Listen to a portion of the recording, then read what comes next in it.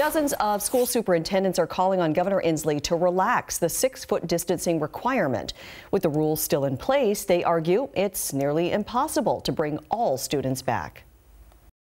In order to do that and meet six feet of physical distancing, they're going to have to hire additional teachers. In the letter, the district cite an American Academy of Pediatrics article that says six feet between students is not feasible without limiting the number of students. It found some countries have been successful reopening class with a three foot distance between students and not increasing community spread of COVID 19.